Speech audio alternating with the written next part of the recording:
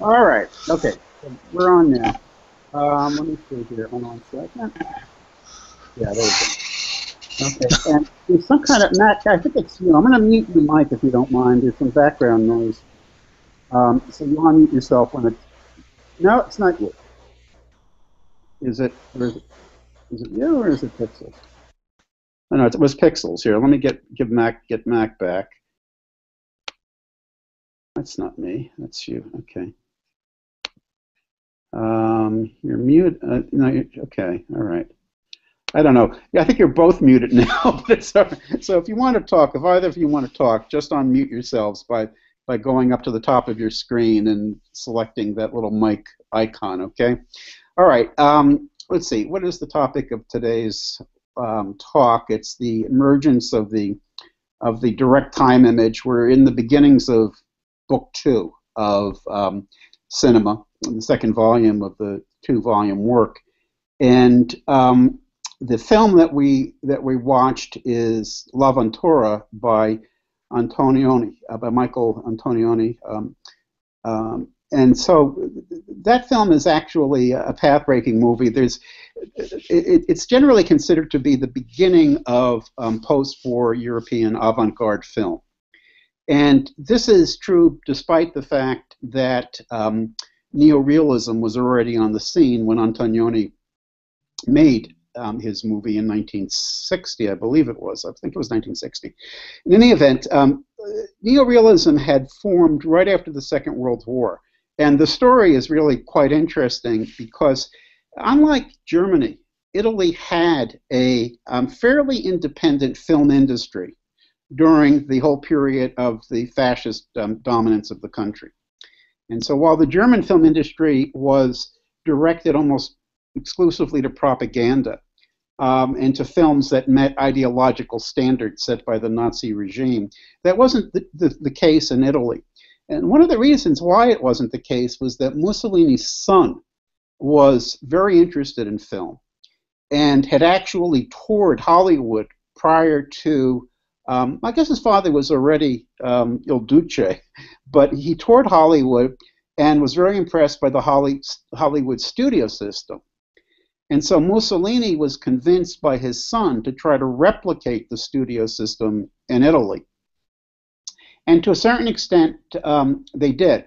They created a huge, a huge studio, um, state-sponsored studio, the name of which is escaping me at the moment, but it was there that most of the directors of the neo-realist wave that followed the war um, got their start.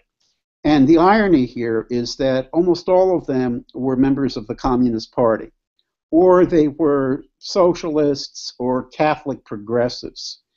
Um, and so th- the fact that they worked under a fascist regime is simply one indication of, of the, um, the fact that um, ideological um, questions were secondary in the case of, of Italian film. Now, people didn't know that the Communist Party members were members of the Communist Party. And the most famous of these was Visconti. Visconti is a fascinating figure because Visconti was an aristocrat. His family had dominated, um, um, I believe it was Venice, or perhaps it was Florence. It was one of the big city states of the medieval period um, going back hundreds of years. And Visconti actually allowed his, his palazzo to be used as a center of resistance activity during the war. Visconti was an active member of the resistance as well as a Communist Party member, and at one point he was captured in some sort of an operation, and he was imprisoned um, by the um, by the fascist regime. But there was outside pressure that was brought to bear. I think that's how he got out. He was able to get out without being executed. And yet, when, um, and then very shortly after that, the Allies, in, in concert with the resistance, defeated the Mussolini slash German regime because the Nazis had come into the north, and Mussolini at that point was a puppet ruler under the protection of the Nazis in the Italian um, city of Salo, and but um, Mussolini, but um, Visconti had the pleasure, I guess, of of um, filming the execution of the commandant of the prisoner of war camp where he was interred. Um, he had he was do- doing a documentary at the time and got inside the prison and and and and, and filmed this uh, this scene. But in any event, Vittorio De Sica is another major member of that group of neorealist um, directors who got their start under the fascist regime. De Sica, although there's a widespread belief that De Sica was a member of the Italian Communist Party, um, it's not true. Um, he never joined the Communist Party. He was what we in the United States would have called a fellow traveler. Um, I, I, should say, by the way, that the Italian Communist Party was the largest and the most successful of Western European communist parties in the period following the Second World War for a couple of reasons. One was that um, they had been the backbone of the resistance, as the Communist Party in France was the backbone of the resistance. And so when the fascists were defeated, the, um, the PCI, the Italian Communist Party, was poised to um, become a major political force. They had a great deal of support. But then also, in the 1960s anyway, the Italian Communist Party became a critic of the Soviet Union. And this began to solidify its credentials as a democratic party. And so they were always the second largest party in Italy. Um, they participated in government shortly after the Second World War, the end of the Second World War, but the Americans um, under the Marshall Plan, um, they refused to let money um, flow into Italy under the Marshall Plan unless the communists were expelled from Italian government. And that did happen, and that initiated a long period of rule by the Christian Democratic Party until the 1960s. And then in the late 1960s, the party came very close um, to becoming dominant. Um, it never did, but it won a huge sector of the electorate, and, and, it was so powerful, it controlled a number of city governments, but it also um, entered into an agreement with, a, uh, with part of the Christian Democratic Party, led by the previous Prime Minister um, Aldo Moro. And the agreement was called the Historic Compromise. The Historic Com- Compromise was going to bring the communists into government, international government, in a coalition regime with the Christian Democrats, but then Moro was kidnapped and killed by the Red Brigades. And there's there's a great movie about this actually, done by um, um, Marcio, uh, Marco Bellocchio. Marco Bellocchio, and it's called Goodbye, Good Good Night, Good Morning Night, Good Morning Night. And Bellocchio is a um, he wasn't exactly a neorealist. He came a little bit later, but a leftist filmmaker very similar to the neorealists. And Bellocchio did a fantastic film of the kidnapping and the execution of Moro. This, this is a dramatic film where it's, the thing is reenacted, this history is reenacted. And his interpretation, and it was rather common, uh, common interpretation at the time, I mean, I think it still is, was that the Christian Democratic Party was responsible for his death. And the reason why is that Moro um, was entering into an agreement with the communists. And the mainstream of the Christian Democratic Party did not like this. The Red Brigade um, kidnapped Moro, but what they wanted was an exchange of prisoners. They were going to exchange Moro for, for Red Brigade prisoners that were being held in prison by the Italians. And the Italian Democratic um, Christian government, Christian Democratic government, refused to negotiate that. And then there was an appeal to the Pope, and the Pope refused to back that. And so Moro was executed, but the idea was that the brigade did not want to execute him at all. What they wanted was their prisoners back. And in fact, when Moro's funeral was held, none of the members of Moro's family came. It was a state funeral, the Pope was present, but Moro's family members boycotted it because they felt that Moro had not been treated proper, appropriately by the party or by the Pope. Well, in any event, um, in any event, there was a long period in which Italian film following the end of the Second World War was in the grip of the left wing. And so um, uh, De Sica, um, Visconti, there was a, a third, Rossellini, was also a great origin. Actually, many people trace the origins of neorealism back to Rossellini's film about the um, um, the um, uh, t- takes place in Rome at the very end of the Nazi occupation. I forget what the title of it is now. But in any event, there were three major figures. Those were the three: Visconti, De, um, De Sica, and Rossellini, and then there were others as well.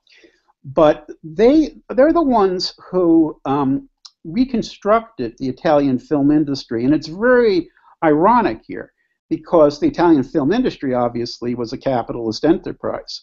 But after the end of the Second World War, the United States dumped movies into the Italian market. And Hollywood did this, in particular, old situation comedies.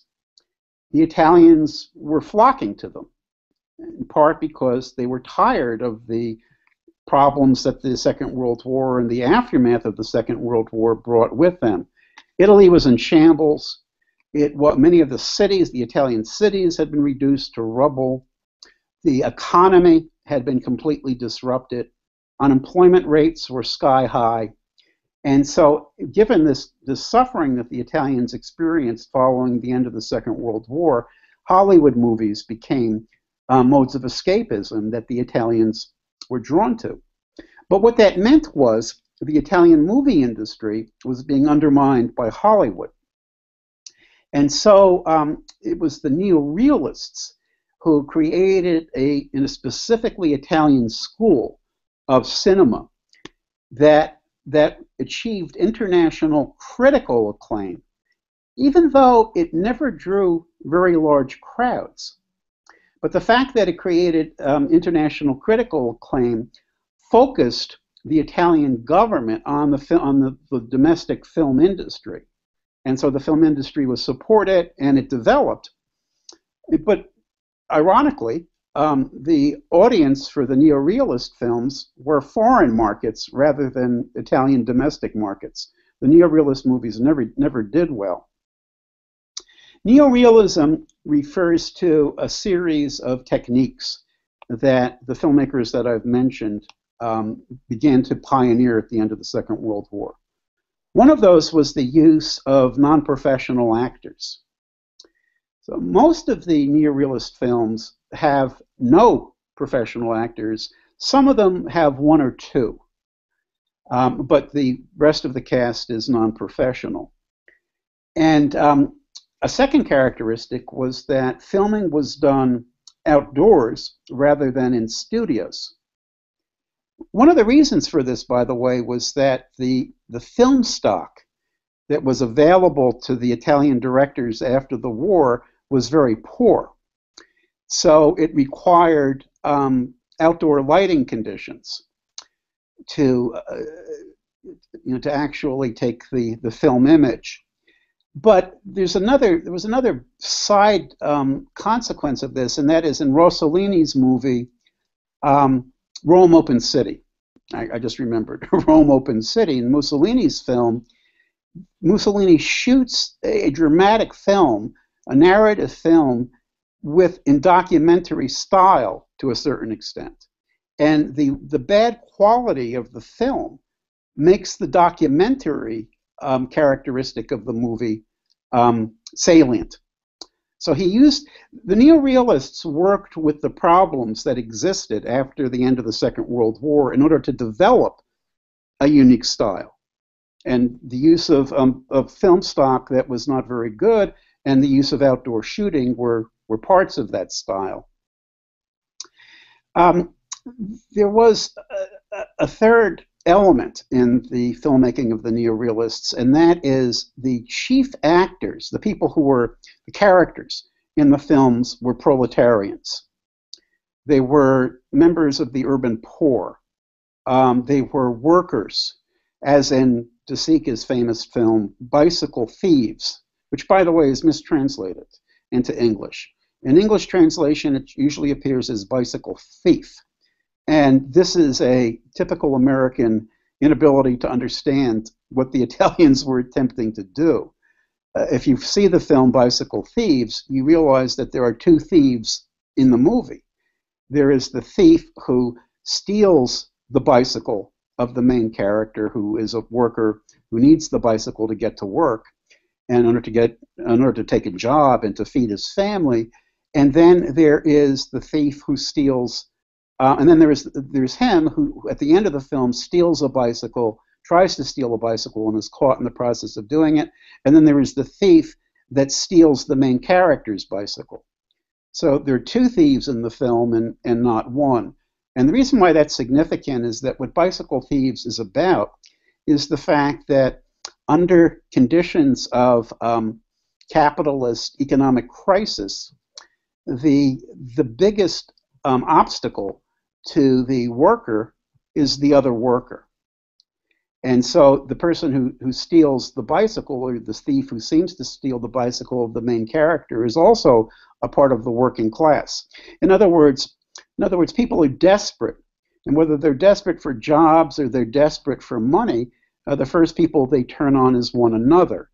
And this is, I think, the argument of De Sica that that is the obstacle that has to be overcome in order for workers to organize into a cohesive group and to begin um, creating a power capable of changing, changing the world, uh, um, getting beyond capitalism. But in any event, the um, neorealists took the cameras into proletarian city streets. And so, what was neorealist about them? Well, clearly, um, the realism consisted in a kind of social realism. They focused on the problems that the Italian working class faced at the end of and then after the end of the Second World War.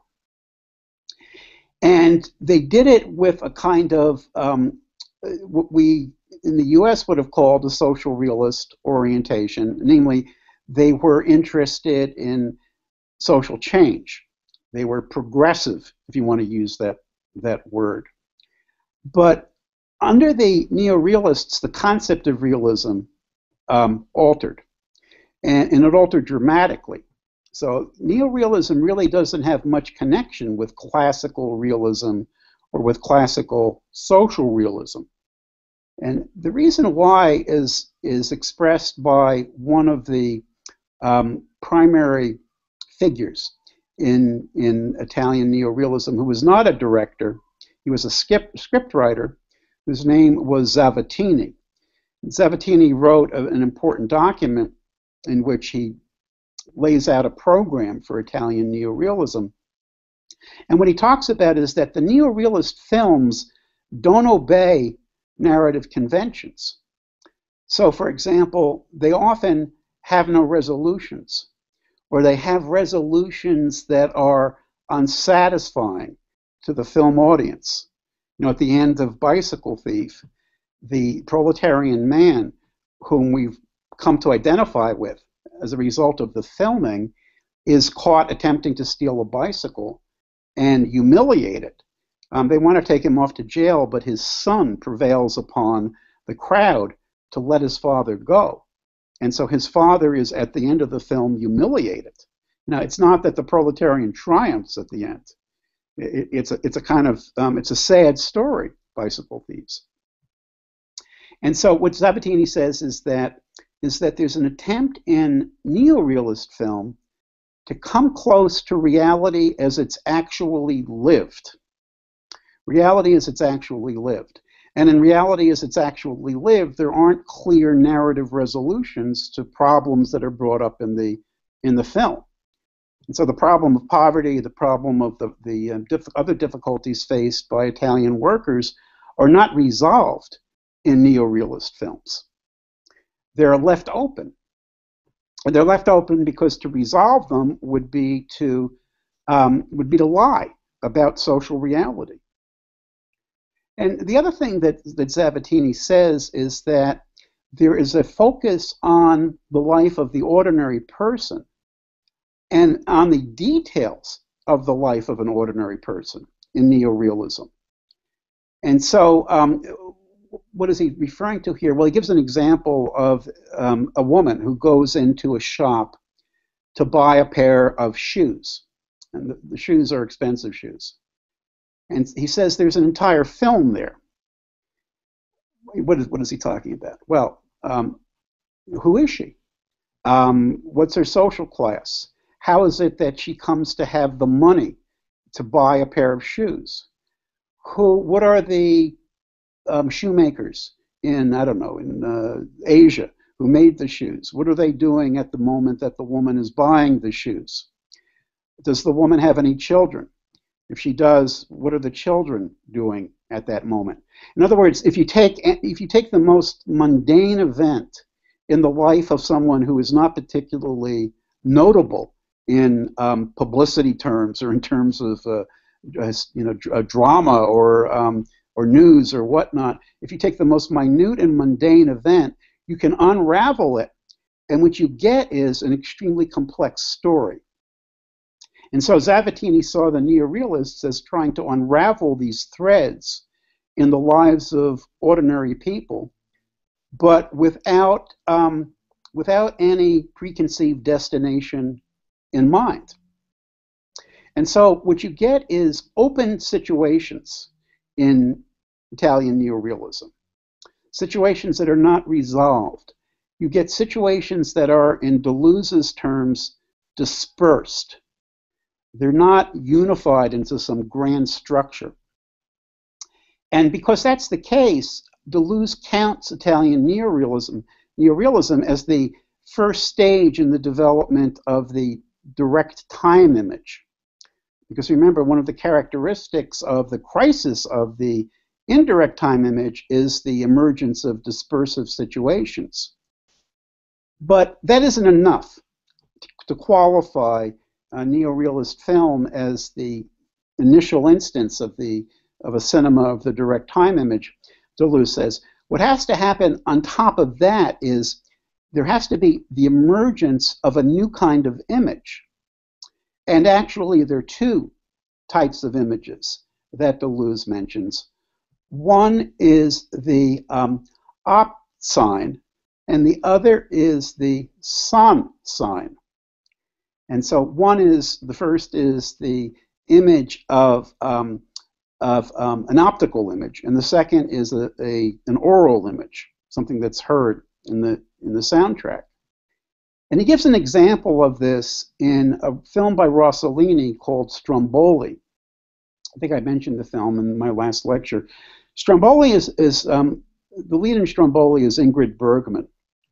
And Ingrid Bergman is a refugee at the end of the war and I forget whether she's German or just from Eastern Europe or whatnot. But um, she, in order to get out of her country, she marries an Italian fisherman who lives on an island, you know, off the mainland of Italy, and the island has a small village community on it. So, in order, as as a consequence of um, or as, as a requirement, as a precondition for becoming, starting to become an Italian citizen, she has to marry this guy. And she moves out to the island, but she's miserable in her marriage. She is a rather cultured woman, seems to be from kind of a bourgeois background. The guy is a poor fisherman. Um, he's not um, educated. He's rather he's rather traditional in his treatment of women. You know, in other words, he's an Italian, right? He's an Italian man who thinks that women should be subordinate to men. And so uh, she chafes under his domination on the island. And she begins to um, flirt with another character, another fisherman. In the film, her husband finds out about this and becomes extremely angry, but um, he still remains married to her. She wants to get away. And the island is a volcanic island. In order to get away, she has to climb the mountains on the island, the volcanic mountains, in order to go to the other side, which is where a port exists. She can then get on a ship and travel elsewhere. But she's got to cross the volcanic territory. And as she's crossing, the volcano erupts. She loses her way. She falls asleep um, she's so exhausted. And then she awakens, and the volcano is erupting, and it's sunrise. and she, she looks at this incredible scene of the volcanic mountains, the erupting volcano, the lava flowing. Um, she's safe, by the way, or at least seems to be safe in this scene. And she says, you know, um, I'm finished. You know, I'm, I'm through. My God, you know, what beauty. And so the, what, what Deleuze makes of this is that in order for the direct time image to emerge. And the direct time image in this case is the visual image of the erupting volcano, the sunrise, um, that whole scene that Ingrid Bergman is in at the conclusion of the movie. In order for that to erupt, there has to be a paralysis of action. So it's only it's only when she reaches the end of her rope, where when she you know, she's exhausted. She can't find her way. Um, she gives up hope of reaching the other side of the island, and even gives up hope of surviving. You know, my God, I'm finished. It's only at that point that the visual image, that the direct time image, is able to emerge. In other words, in other words, a cinema of the direct time image replaces um, action um, image cinema. And it's only once action breaks down that pure visual and oral um, images come to the fore in European film. Now, wh why does Deleuze call the volcano and the image of the volcano and the sunrise a direct time image? Let me um, let me shift that question for a second. Okay, let's just go directly into L'Avventura. Because L'Avventura, which is Antonioni's movie, has a very similar setting. The setting is a volcanic island, one of the Aeolian Islands off the coast of, um, of Sicily. And so, you know the story. The story is that it's a very simple story, really. It's that a wealthy woman, um, Anna, um, decides to take a, a, um, a cruise with her fiance, um, a man that she's sort of engaged to, but you know the relationship is is not going the way that she would like it to go, and two other wealthy couples. So they get on a yacht and they're sailing or motoring through the through the uh, through the ocean, and then um, they land on an island on one of the the Aeolian Islands, and the woman, Anna, disappears. Her friend, Claudia, um, is the most concerned about finding her. Her fiance tries to find her. Neither of them are able to do so. They leave the island. They continue to look on the mainland of Sicily, but they can't find her. And in the process of looking, they fall in love with one another. And at the very end of the film, um, the um, um, uh, what's his name? I'm trying to think of the name of the lead character. There's Claudia, there's Anna, and there's uh, I'm blanking on the on the lead's name. But in any event, the um, the fiance has um, sex with a prostitute in a hotel lobby on a couch, and he's caught by his current lover, by Claudia, and um, and the very end of the film, she, he finds her outdoors crying. He goes up. He goes up. Doesn't go up to her, but he goes to the place where she is, sits on a bench, and starts crying himself. And she walks behind him and puts his her hand, Sandro, um, puts her hand on his shoulder. Thank you, Pixels. Puts her hand on his shoulder, and that's the end of the film, right? I mean, to tell the story is it takes nothing. It takes no time at all. I mean, there are a few other things that happen along the way, but the point is that the film is it goes nowhere, right? It, it doesn't resolve. Not only do they never find her, but you never figure out what happens between the new couple.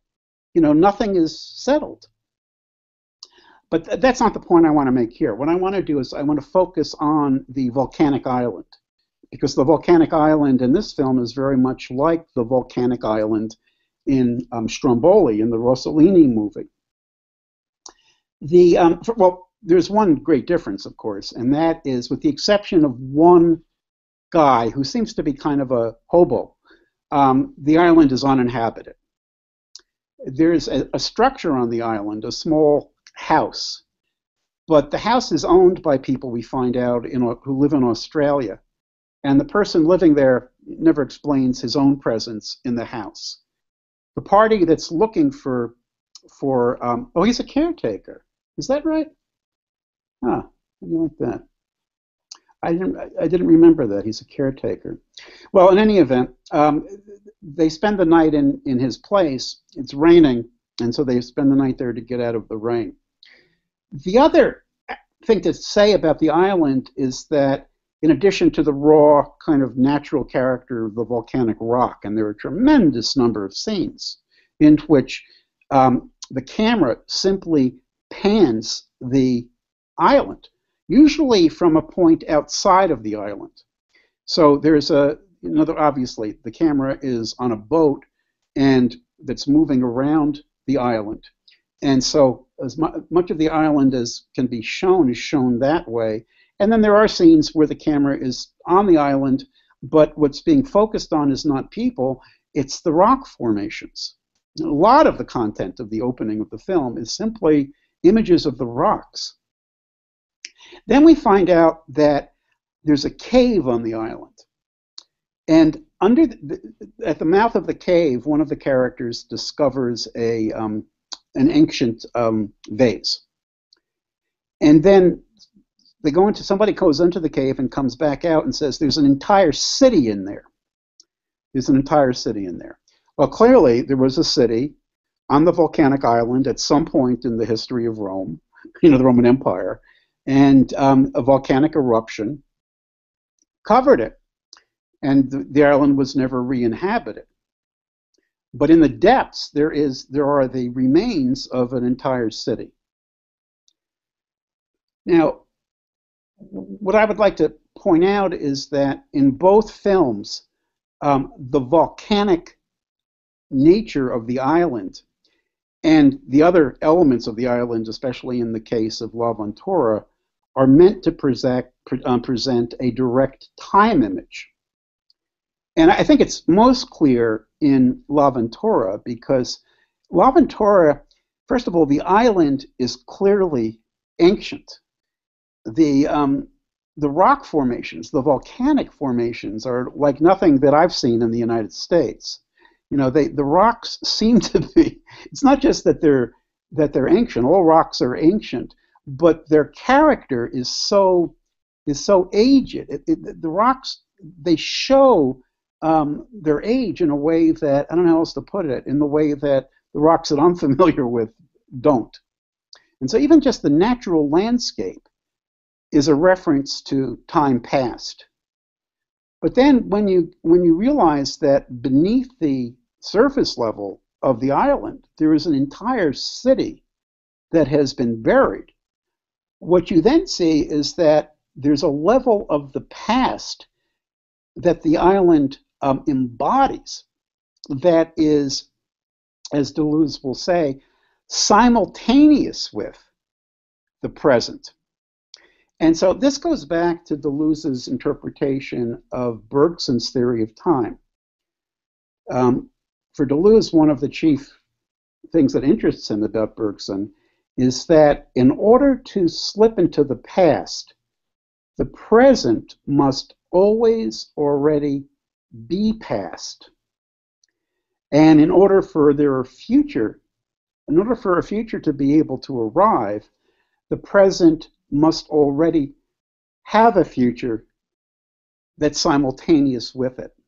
In other words, what Deleuze is saying is that our general image of time is that of succession, in which one moment replaces another. And this is really the result of what Bergson calls our spatialization of time. You know, we, we think of time as the measure of motion. And as the member of motion, time is numerable. So we can assign numbers to moments, to minutes, to seconds, to whatever our unit of measurement happens to be. And once we get to the point of assigning numbers to units of time, we think of time as a process of counting, as a succession of moments, of discrete moments. So you've got one, then one's in the past, two, two slips into the past, three, three slips into the past. And what, what is past now is the succession of moments in the order in which they occurred. But Bergson says this is not our experience of time at all. Our experience of time is one in which the past, how can I put it, has no ordinal location. In other words, think about it. You know, think about your own past now.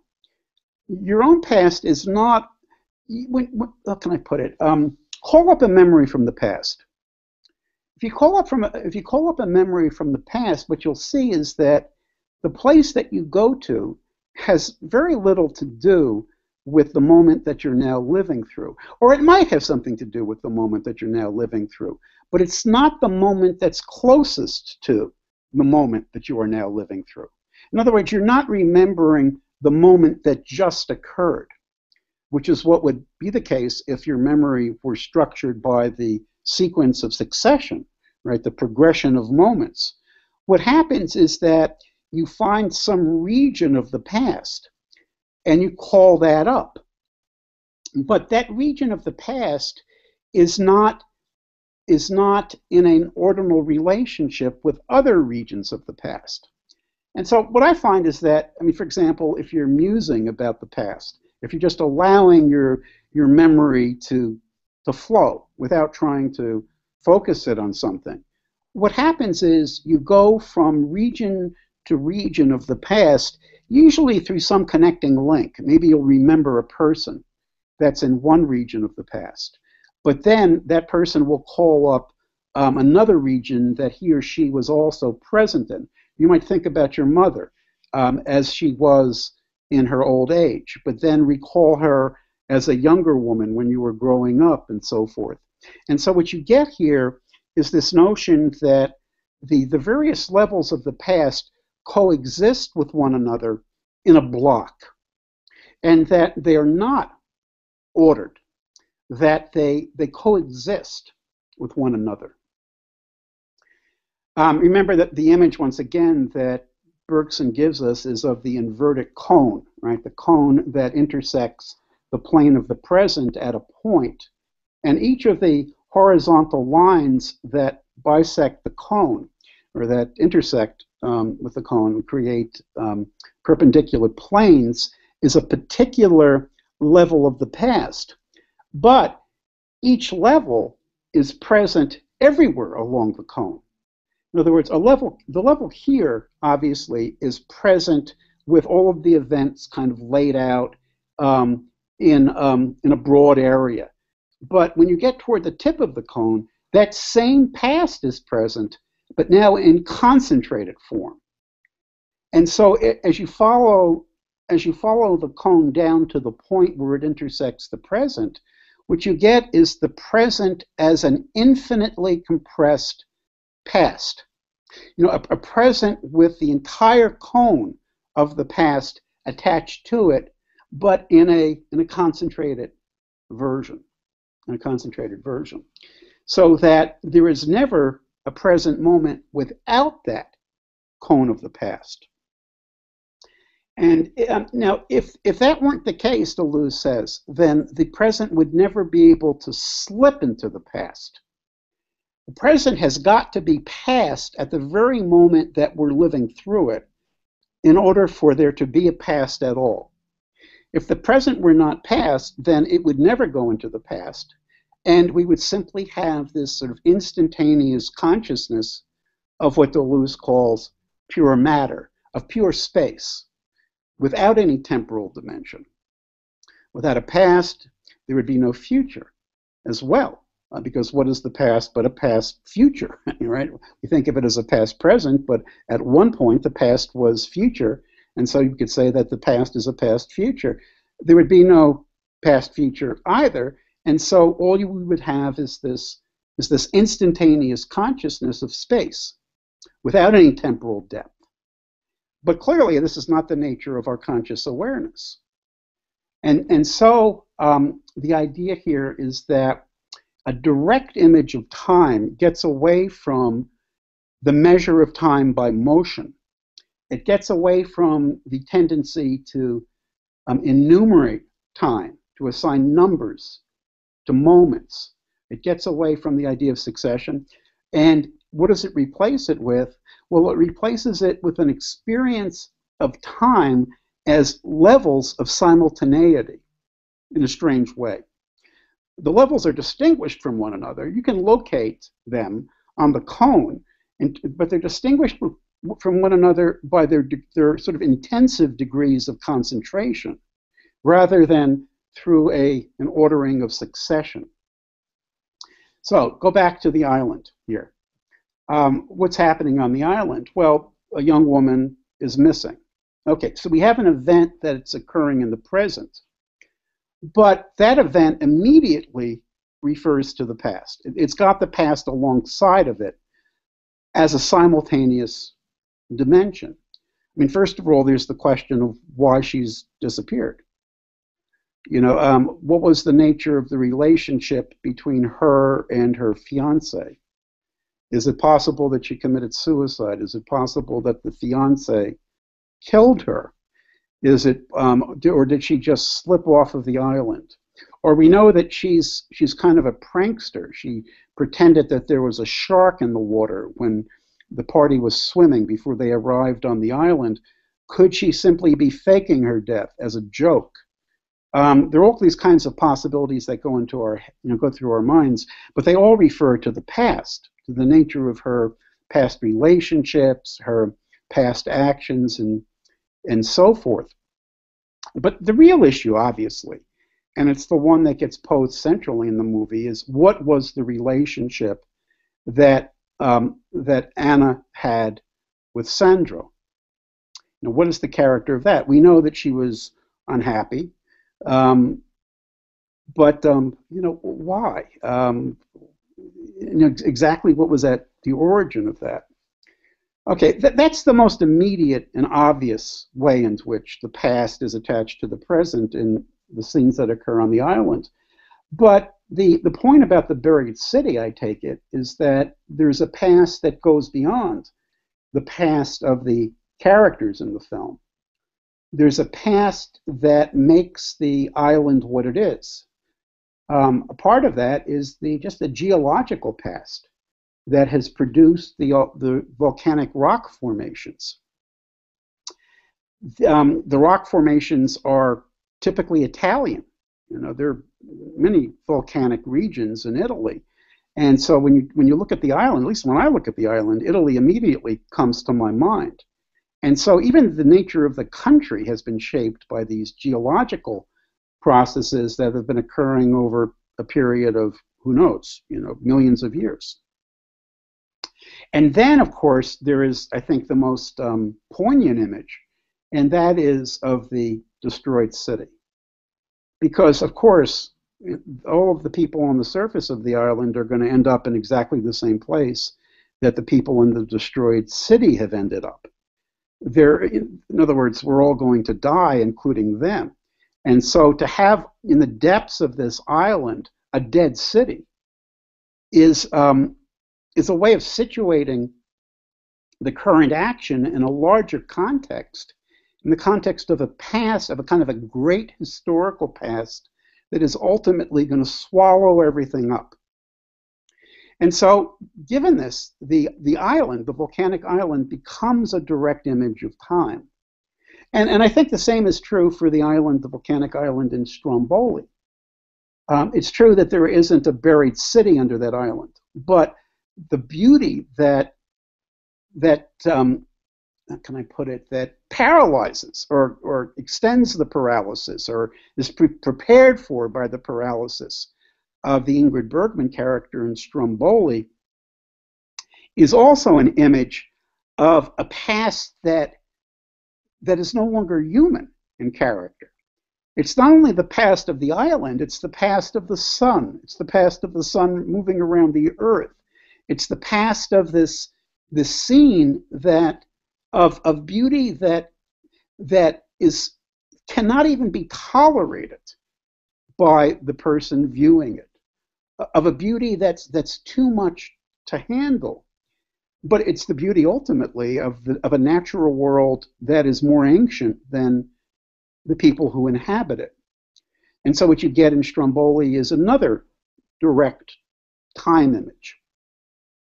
Now Stromboli is uh, still a neorealist film. Um, there's no doubt about that Rossellini is one of the great creators of neorealism, and Stromboli continues to use, for example, non-professional actors, except for Ingrid Bergman. Um, the actors are not urban proletarians, but they're fishermen. They're poor fishermen, and um, and there are other characteristics that are similar to the main program of neorealism. But Antonioni's movie L'Avventura breaks with neorealism it breaks with neorealism in part because he's using professional actors.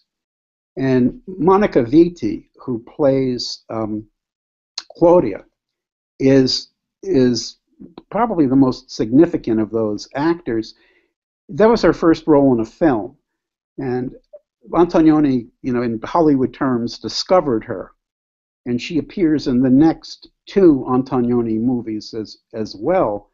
Um, she's breathtakingly beautiful. She's a northern Italian. She's blonde. There's a scene in the film that I love where she's being pursued by the Sicilian men. In one of the, um, and it's an outdoor scene. Her now boyfriend is inside, trying, inquiring about the whereabouts of, of his previous fiance, and she's outside, and the Sicilian men gather around her um, because she's so beautiful. But one of them says to her, um, Torino, Torino, right? Which means you're from Turin. Well, you know, Italy, uh, Sicily is the south of the south. Um, Turin is the north of the north. The, Italians in the south are dark. The Italians in the north can often be light and blonde in character. And so he calls her Torino, which is you know, just simply a way of saying that you're from you're from up north. Uh, you're not you're not from down here.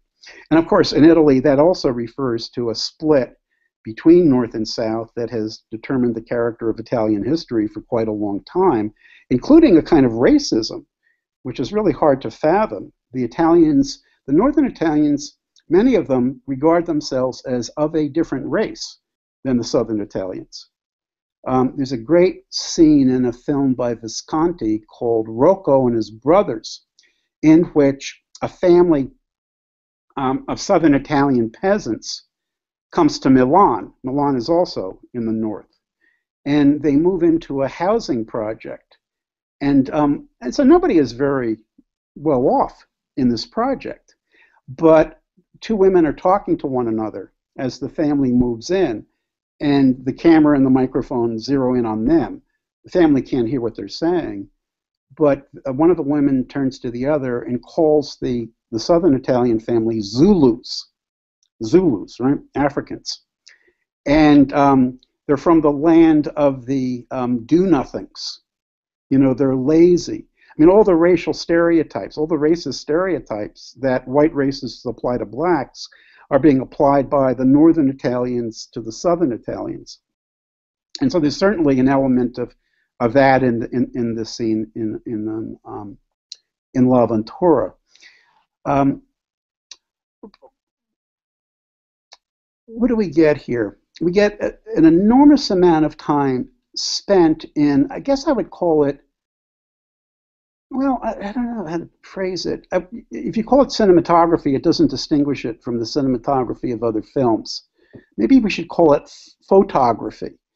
In other words, in other words, what um, what Antonioni is concerned about, one of his concerns, is the composition of every still. And this is something that also begins to dominate post-war modernist European film. In other words, what and Pasolini is another example of this. You know, Pasolini studied painting. I studied the history of painting when he was at the university, and Pasolini is fascinated by um, um, um, um Renaissance painting, and so he, uh, he, he many of his images have the characteristics of 15th century Italian Renaissance paintings. And so he's always thinking in terms of the composition of the frame. You know, what is the fr- where are the objects within the frame? If you held the frame still, what would the disposition of objects be? And this is very much the case for Antonioni too. You know, his concern is to is for every frame to have a photographic logic to it to have a you know to have the objects in a certain relationship with one another to have a certain kind of compositional integrity that is that really no longer belongs to the motion image so much as it does to as Deleuze will say the pure visual image. And we see this on the island but we see it throughout the journey of the two through Sicily.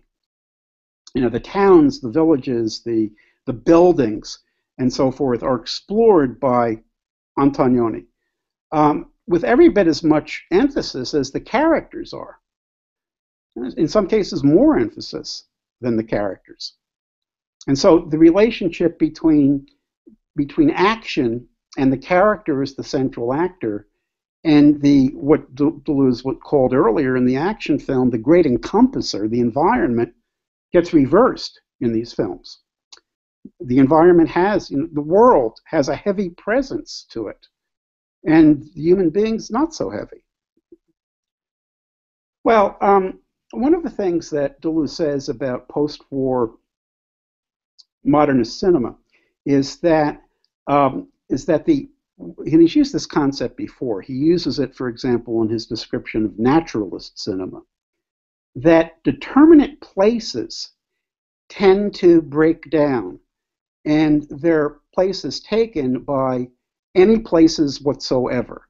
And so the phrase is any places whatsoever. Well, what are any places whatsoever? Any places whatsoever belong to the uh, to naturalist film in the first volume because naturalist film focuses on impulses. It's a film that precedes the action image.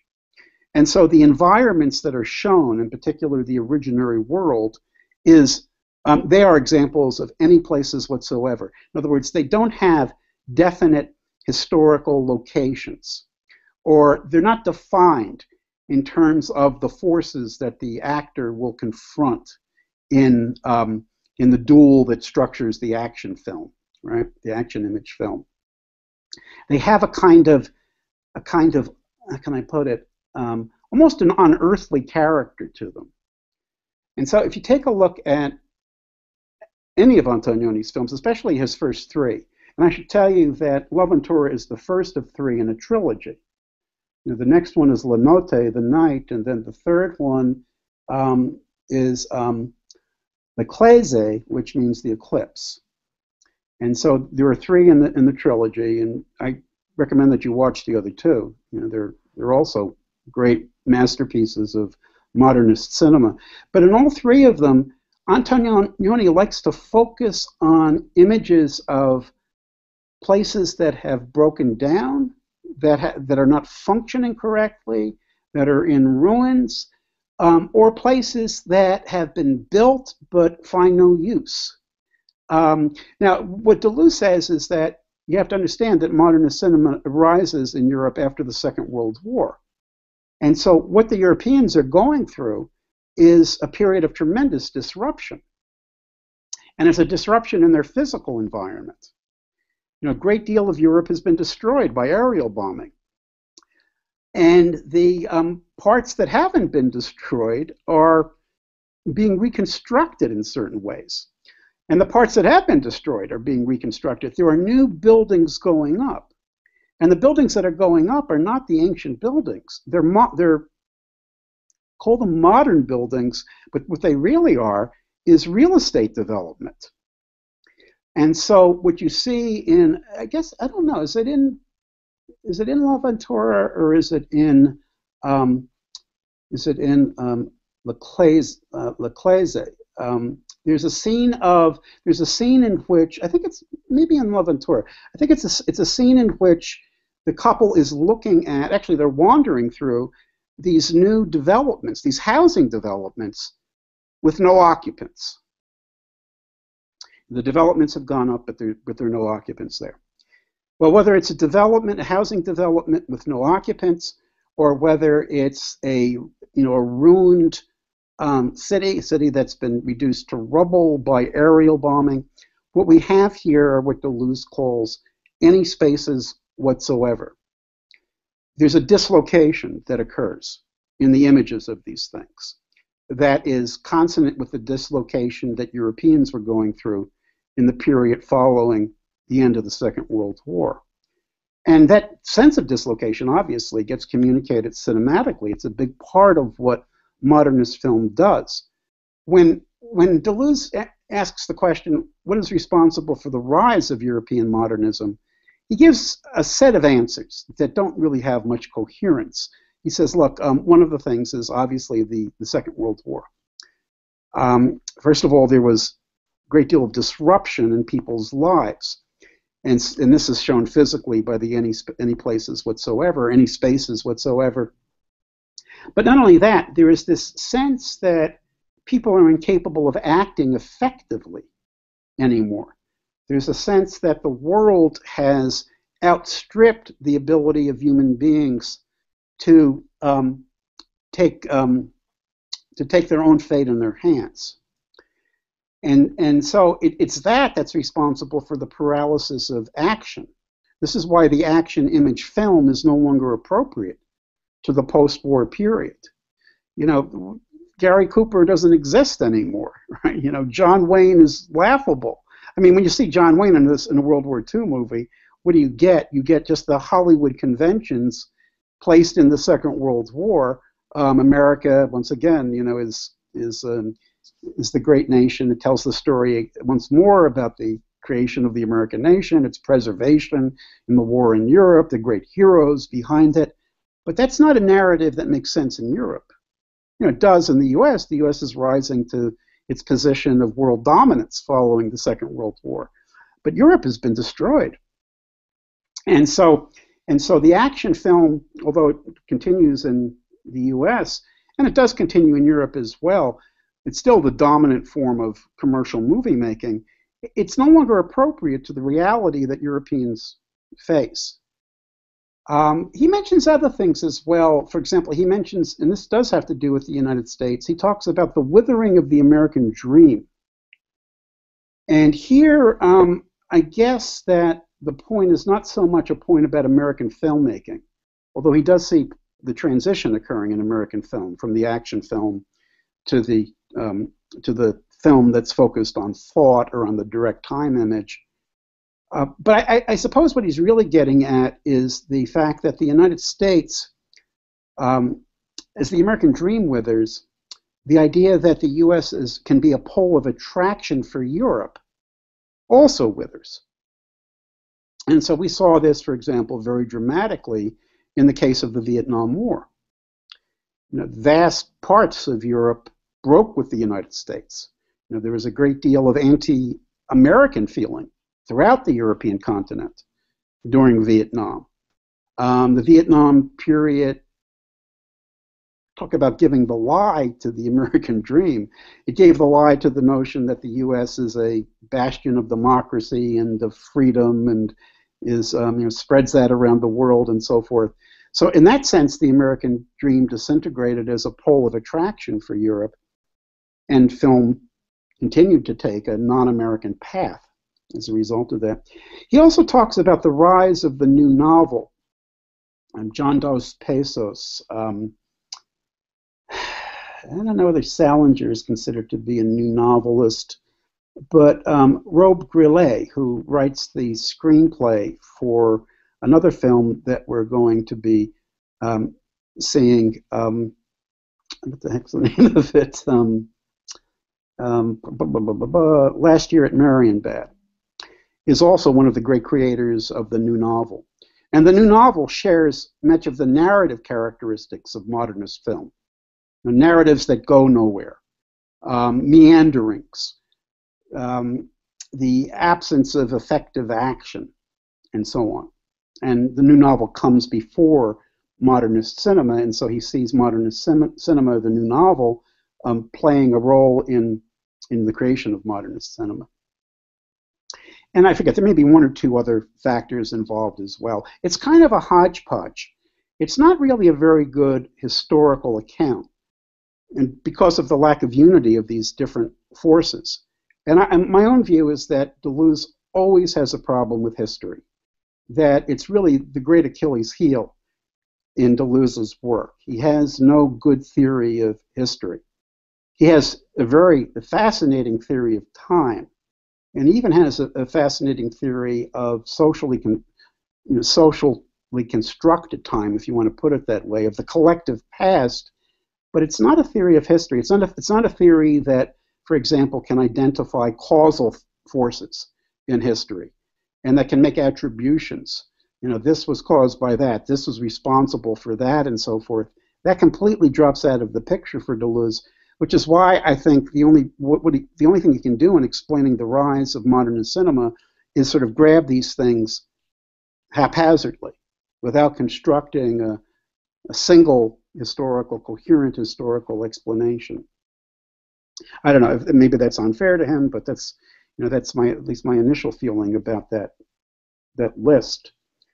In any event, um, the list is what propels us into the period that Antonioni, I think we can say, really originates.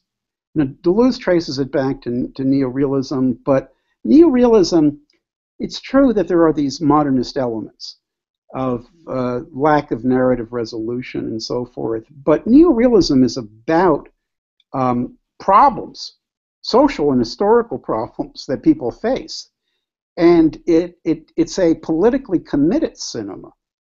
The Italian right wing hated it. Not just the Christian democratic government, but the Catholic Church. Catholic Church said that the filming, that the neorealist films were too pessimistic. They were too pessimistic. Well, there were films about the fate of the poor and the working class in the post-war Italian period. And by the way, one of the reasons it's commonly um, it's, it's commonly cited as a reason why neorealism lasted only about five to ten years in Italy, from 1950 to 1955. If you want to be generous, 1950 to 1960, which I think makes more sense. This include that entire decade. But the reason why um, neorealism, neorealism reached a, termin, a terminal point was that the Italians as a result of the Marshall period, as a result of the recovery of the Italian economy following the war, became um, dominated by consumerism. This is Pasolini's interpretation. And it's something that worries Pasolini, another great Italian director, a tremendous amount. That he says that even fascism could do nothing to destroy the traditional Italy, um, the Italy that he knew growing up but that, and here you get to the scene, this is the relevance of the scene in the Antonioni film of the new housing developments, but, but post-war consumerist capitalism is destroying Italy. You know, the buildings are changing. The buildings during the fascist period were the same buildings that had been in Italy for generations, for centuries. But now we've got these, these new prefab buildings and so the entire, actually, Pasolini has this great expression. Pasolini was a great poet as well as a filmmaker. He talks about the disappearance of the fireflies. There is a point in which industrial development in Italy killed off the fireflies. And so it's not just a matter of environmental degradation for, for Pasolini, it's, it's, it signifies the transition to a new world entirely you know, to, to a world that is completely artificial, that's shaped by um, consumerist capitalism, and that takes root in the personalities of people. Pasolini was also a communist. But Pasolini, toward the end of his life, despaired of the Italian working class, which was always the subject matter of his films. At least half of his films are about the proletarians in the Borgati, um, which are the um, the suburbs, the proletarian suburbs around Rome, and he says that you know they've become that the proletarian youth in Italy have become um, pale copies of bourgeois youth. What are they concerned about? You know, they're concerned about acquiring cars. You know, getting, you know, being able. They listen to the same radio music. They're, you know, they're plugged into consumerist culture just as bourgeois youth are pu- plugged into consumerist culture. So I, I think that that framework actually makes sense for Antonioni, who, by the way, was also a communist. Antonioni was a member of the Italian Communist Party. And Antonioni, I think, as I might have said in a previous lecture, got his start as an assistant director under Pasolini. Uh, but Antonioni is a different kettle of fish. And so Antonioni is not focusing on the proletariat. Antonioni never does that. Antonioni's characters are always bourgeois. At least, you know, some of the characters in L'Avventura are from the aristocracy, but the aristocracy at this point in Italian history is kind of a, the bourgeois, a wing of the bourgeoisie with titles, basically. You know, their their historical foundation has crumbled. What um, Pasolini wrote a, a great treatise, which Deleuze references several times in Volume 2 of Cinema. And it's, it's a treatise about what he calls the indirect time image, which, um, I'm sorry, uh, it's what he calls, um, he calls the indirect point of view shot. The indirect point of view shot is a, it's, it's a way of seeing the world through the eyes of a character in a story. And so whenever the camera takes over the role of a character, and you'll see that it, it, it does often, in even in, in Antonioni films, as well as Pasolini films. Often we're looking at the world as though we were one of the characters in the film. Hitchcock does this a lot as well. You know, the frame is the visual frame that one of the characters has, but that we are now kind of tipped into. Um, tipping is a, a, photographic term where you um, you know sort of create an object that doesn't exist in the original photograph. This is prior to Photoshop, right?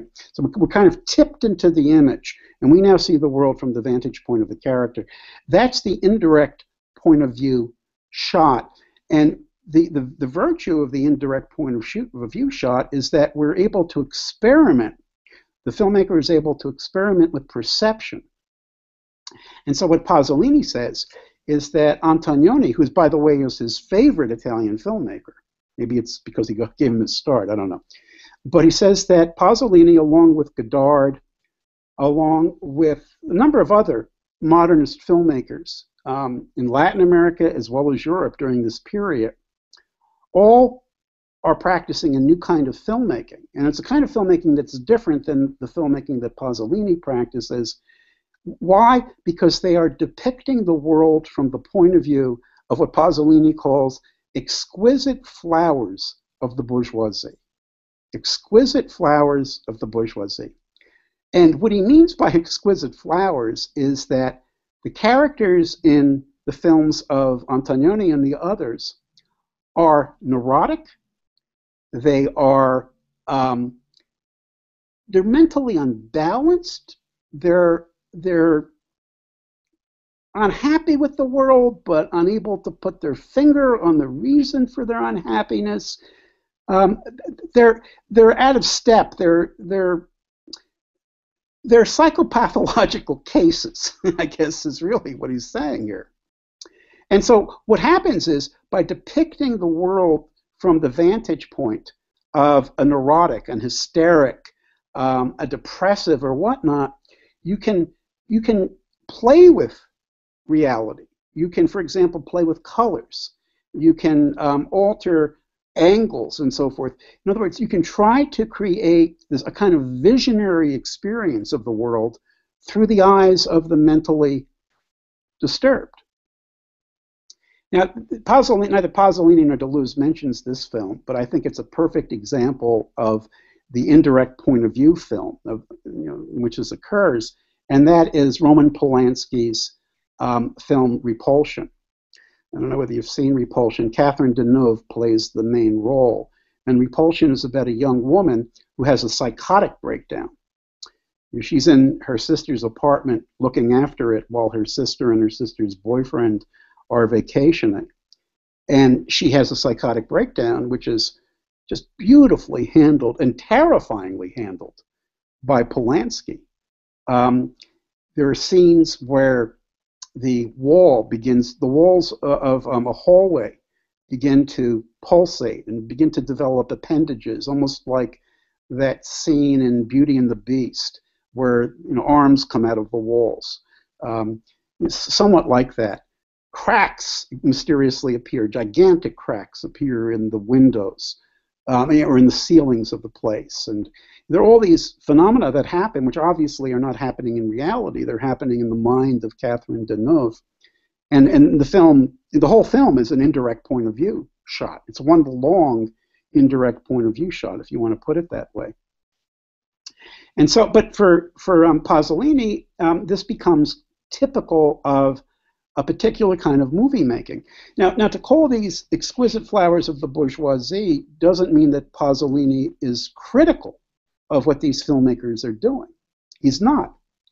He distinguishes his own filmmaking because his own filmmaking remains oriented on the proletariat, but he distinguishes his own filmmaking from their filmmaking, but he doesn't condemn this this movement in filmmaking. He sees it as the most vital part of the film industry, you know, of film art during his own period. And why? Well, I, I, think the reason why is that if you think about his analysis of the rise of consumerism in post-war Europe, which what you're seeing here is um, is that in a sense it's the triumph of the bourgeoisie. It's the triumph of the bourgeoisie. Um, bourgeois habits get implanted in everybody you know, everybody buys into this idea that the Cocteau, yes, you're right. That's this is the maker of um, of Beauty and the uh, Beauty and the Beast.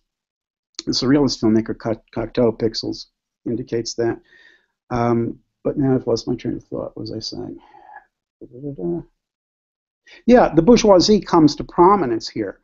And so, in, in a sense, you know, in, Marx, in the Marxist framework, the proletariat is supposed to be the universal class. It's the class into which all other classes dissolve.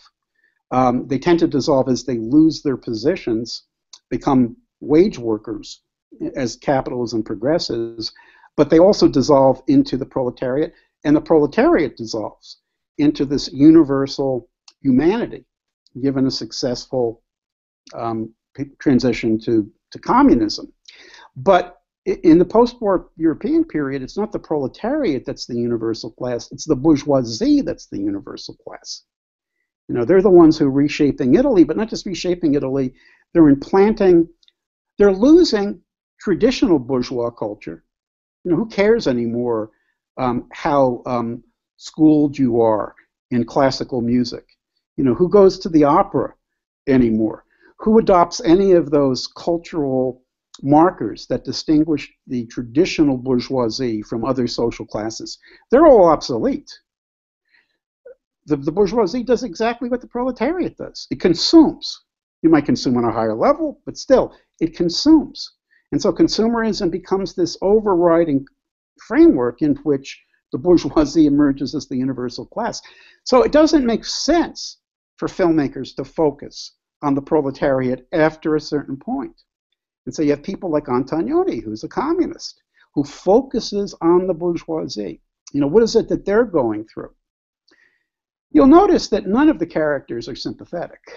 It's not like Antonioni is writing a brief for you know uh, in defense of the Italian bourgeoisie. Um, yeah, they're totally unlikable.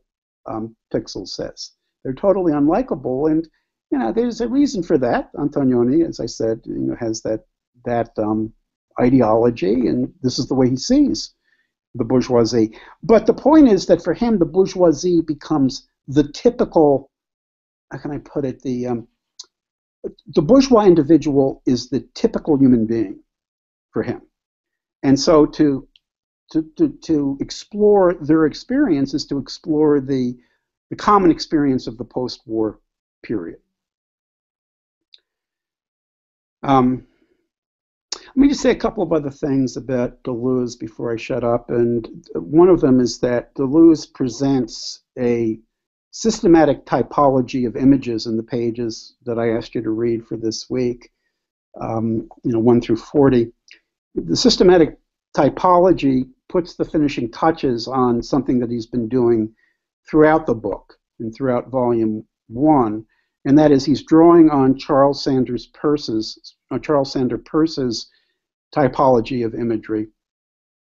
And, but he says that Peirce, um, in his writings, on images and on symbols doesn't give a deduction of the symbols. I mean, he, he accuses Peirce of what I accused him of doing in his historical explanation. In other words, Peirce just sort of reaches out and puts these various kinds of symbols down on paper, and he says, This is my typology. But what Deleuze says is that you need a deduction. You need to derive the symbol systematically from some basic principle. And so he tries to do that. And the basic principle is um, that of the perception image. The perception image gets everything started. And so uh, he says that there is a perception image which, in a sense, includes all of cinema. Because what does cinema do? I mean, obviously, cinema is presenting images to our perceptual apparatus. So, in one sense, all cinema is a gigantic perception image. And if we take a look at a perception, the perception image in its widest variety, then we get the kind of thing that Dziga Vertov, according to Deleuze, was interested in, namely a depiction of the world as um, a set of images.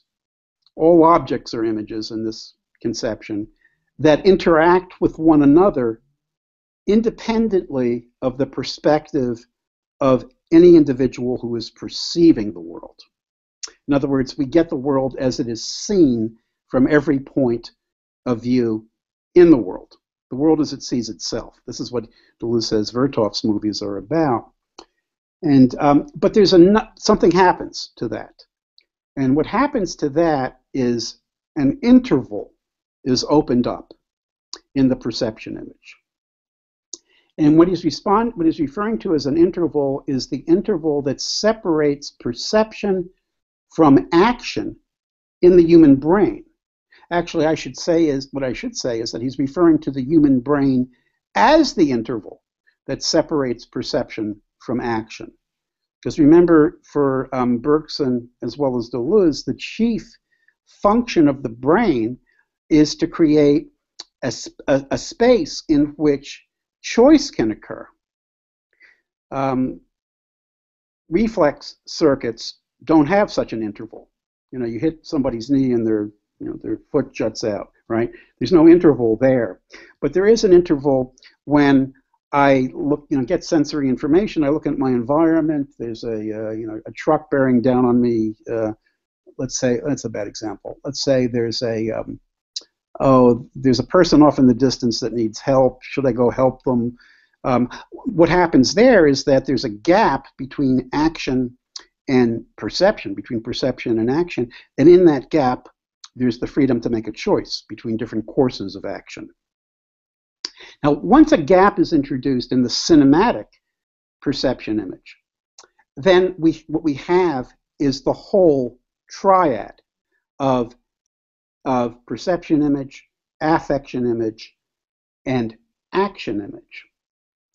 The affection image is really something that comes to sort of sit in the interval. Because what's affection? Well, one of the ways of seeing affection is to see, see it as a kind of um, mock action, it, or the rehearsal for action, if you want to put it that way.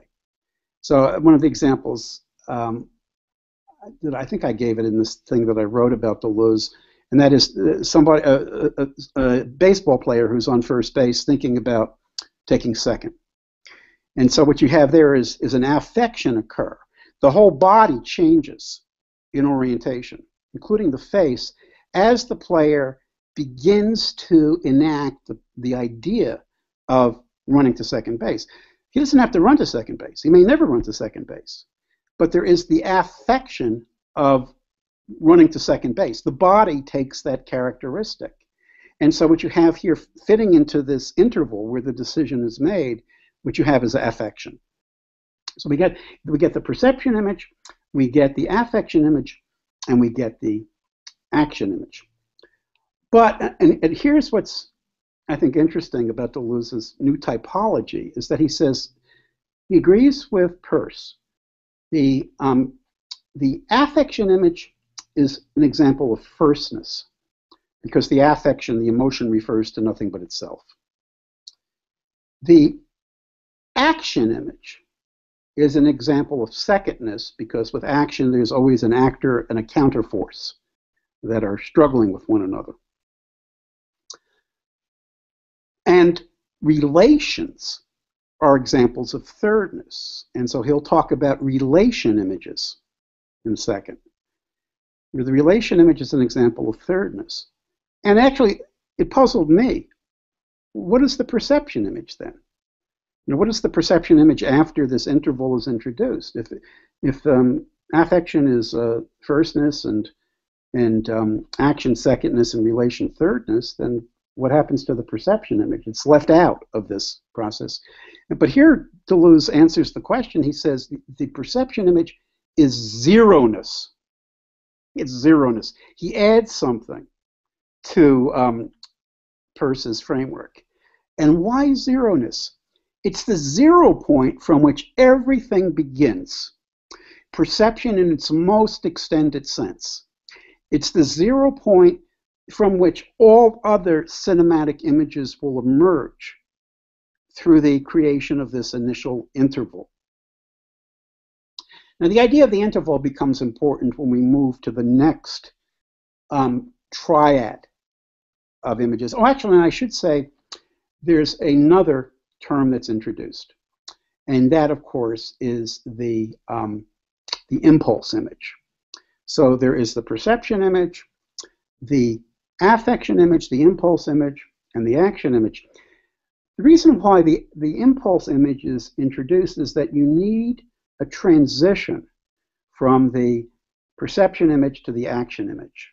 And what's transitional between the two is the affection that I just described in the case of the ball player who's thinking about stealing second base, right?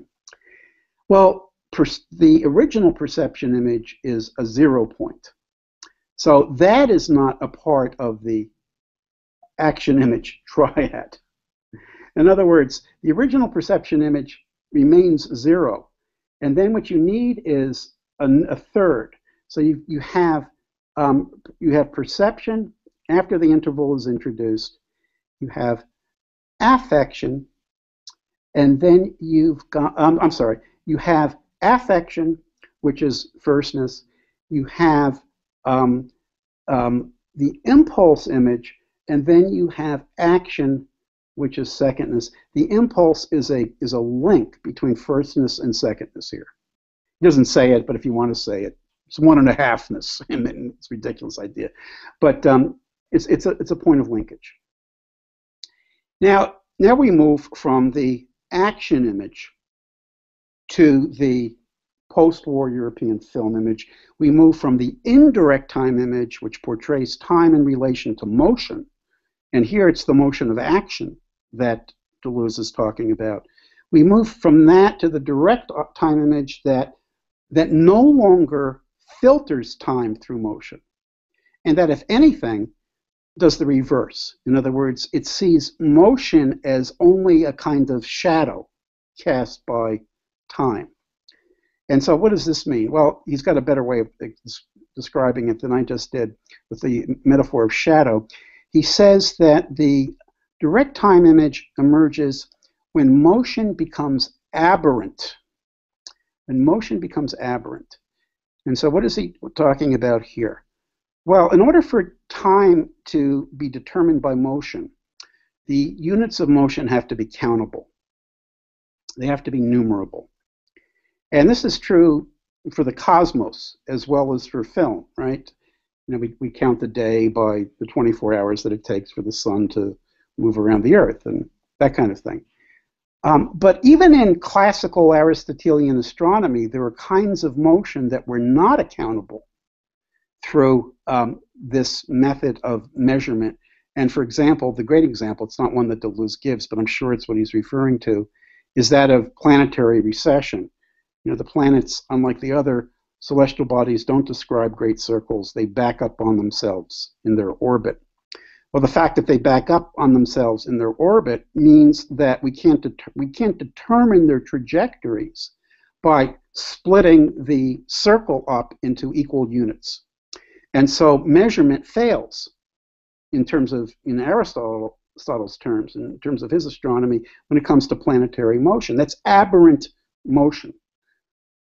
Well, similarly, similarly, Deleuze says that in order for the time image to emerge, modernist filmmakers focus on aberrant motion, motion that cannot be measured. And but here, the motion that cannot be measured is more like the motion, the narrative development, you know, the, the motion of the characters through the film that that no longer have an encompassing, encompassing, encompassing framing framework. Of, there's no longer a way of situating the actions in a modernist film in a sequence that begins with a problem, a narrative problem, and then moves towards certain information in the environment, and then enables finally some information occurs that enables the the problem to be resolved, and then there's a narrative resolution. There's none of that in modernist film. There's no way of there's no way of imposing a frame that can make systematic sense out of motion in a modernist film. And of course, this is exactly what people object to about modernist cinema, is that they can't understand it. You know, what's going on? Nothing seems to be happening. Or things are happening that don't that don't connect with one another. This is exactly what Deleuze says. That's right. That's what modernist cinema is. Well, um, by the way, when L'Avventura was shown at um, at uh, the Cannes Film Festival, there were cat calls throughout the audience. You know, film the film goers, you know, said, what the hell is this guy doing? This is crap. Get off! And actually, um, he began to make an exit, you know, from the theater. He was worried about being attacked. That's how strong the reaction was to L'Avventura. But fortunately, the critics at Cannes loved the film. so the film audience hated it. The critics loved it, which was a pattern that is going to continue throughout the history of modernist film. And so uh, L'Avventura became a classic, even though it made no money and was hated by the film audiences, you know, around the world. Actually, it did better abroad than it did in France. But this, um, you know, this begins the a, a, a well-known story about modernist cinema. Um, one of the great things about modernist cinema, and it's it's what makes it avant-garde. It's what makes it one of the last examples of avant-garde art, is that you can get that reaction from an audience. You know, when the Dadaists um, did their performances, the audiences would would riot. You know, um, when you get jaded, when you see so much of modern art and you no longer react that way, then the avant-garde is dead. But in film, you can still, at least in 1960, you could still get that kind of reaction from a film audience. So uh, you can, you can tell that you're at, at an avant-garde performance if the audience wants to kill the director. That's basically that's basically the case, or the other artist. I won't continue. There, he, he breaks up the the um, thought image, the um, the direct time image into segments too. But I think that's enough for me to say today. Let me read what Pixels wrote here. Um, characters are totally unlikable. This defined L'Avventura for me from the book, right? Antonioni's aesthetic visions are inseparable from an objective critique. We are sick with Eros because Eros is sick with himself, objectively sick. What has love become that a man or woman should emerge from it so disabled? Pitiful and suffering, and act and react as badly at the beginning is at the end in a corrupt society. Yeah. Yeah, it's a um, it's a sobering thought that um, love is no longer what it used to be. Also, I think that friendship is no longer what it used to be. Now, Claudia is the very, very close friend of Anna, And, and she is the one who initially is so distraught over the fact that Anna is missing. But at the very end of the film, you know, she confesses to a friend that um, she's deathly worried that Anna survived. Uh, because if Anna survived, it's going to introduce all kinds of complications into her relationship with Anna's ex fiance. And so it's not just romantic love, it's not just erotic love that's at risk here. It's, um, it's friendship as well. Um, all I can say is that I think all of this has to, okay, some kind of social totality takes the place of love. Is that a question, Mac? Speak. Well, I, Well, I I, mean, I mean, I, I, I'm asking for some I'm kind asking of for some kind of reaction, but I, I think, but I think so. I think so. In in, In, um, in um, L'Avventura. Love and How do you how do you mean? Well, I think Well, I think in the beginning in the they're kind of they're kind of immersed in the in this primordial, primordial natural landscape, natural landscape. and um, they can't They stay in it. They have in to it. They have join to join the the social social totality, totality. and that's what And makes that's it what makes it so sad. Yeah, that's interesting. Yeah, that is interesting. So your your idea then is that um, that they're functioning fine on the island. Is that right? Or, or at least they're they're not Um, miserable on the um, island. Yeah, I think so. Yeah, I think so. Even though even though uh, Claudia is missing. Um, You mean Anna? You mean Anna. A- Anna, you're right. Even though Anna is missing, you're not. Uh, yeah, I mean, in, in a way, I think certainly uh, in the when they move from the island to the city, um, and it all takes place in Sicily, by the way. The entire film takes place in Sicily. When they move from the island to the cities or to the villages, it becomes clear that nobody is particularly interested in Anna's fate anymore. You know, they've all gotten over it. You know. The Doesn't- only thing that- Doesn't, yeah, go ahead. I was, doesn't doesn't Sandro Sandro hit on Claudia, Hit on on Claudia the on island the or island on or the boat on before the they boat even before get they to even the get to the cities? cities? Yeah, he um, he actually on the island itself, I think. He tries to kiss her and she pulls away. Yeah. Yeah. Yeah. Men are depicted, by the way, as complete pigs in this film. it's, it's really amazing. That that That was that was interesting because interesting because in the the scene, city, the city, first with the the prostitute, prostitute, and then with and then Claudia, with Claudia, there are no other women, no other women, just scores Just of men scores of descending men on these, descending on these these women. women. Right. Right. And all I can say is that um, it's true. You know, this is this was not a sleight of hand on the part of Antonioni. Um, even today, if you go to parts of Italy and you're an unaccompanied woman, you're going to, and you know, attractive woman, you're going to attract a lot of male attention. Um, Italian, there's there's some truth in the idea that Italian men are, um, you know, male chauvinists. You can see, you can see how much the Italian feminist movement had on on its plate when it arose in the 70s from this. So I don't think that this is necessarily a distortion of reality. But um, it's certainly not flattering to the males in the film. And then I think the And then I other think the thing you described, you like the described, action like, image action with image the with the island being island volcanic, and the volcanic layers, and the layers was when they head when to they the head to city the city where she was spotted. she I think it was spotted, called, I think it was called Nato or Nato Nato. Nato. They come They across come across a, s- fir- a, a for, a city before city that before one that one that is that like abandoned. like abandoned. Right. You're talking about that, that's the new that's the new housing development. But there's a church there's a there, church there, I think. I think. Yeah. So maybe these buildings were built. and- You know.